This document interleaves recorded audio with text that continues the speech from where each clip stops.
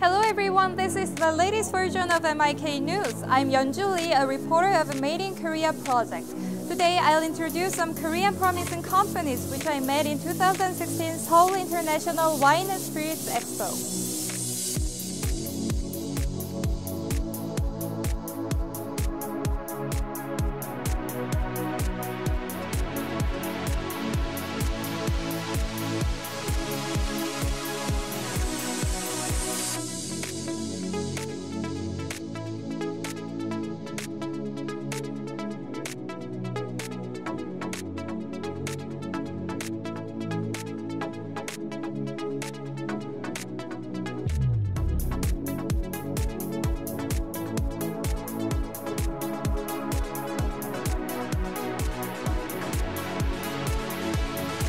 These are all I prepared for you today and I'll see you in the next episode. Let's go beyond Asia and enter the global market with MIK.